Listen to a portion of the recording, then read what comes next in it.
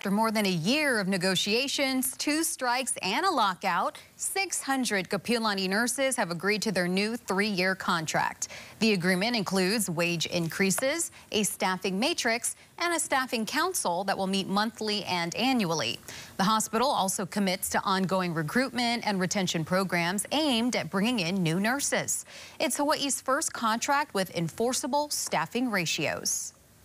There was such happiness because they put everything on the line.